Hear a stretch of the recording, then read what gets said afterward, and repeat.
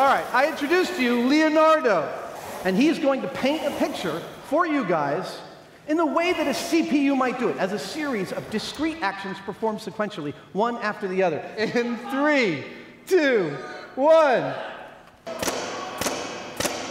Uh, let me speed it up.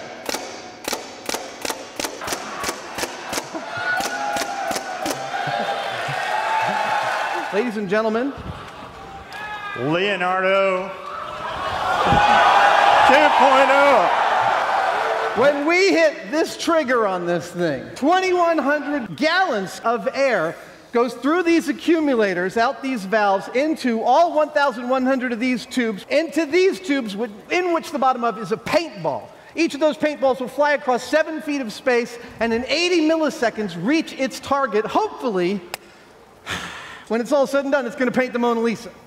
GPU painting demonstration Yep. In 10, Nine, eight, 7, 6, 5, 4, 3, 2, 1.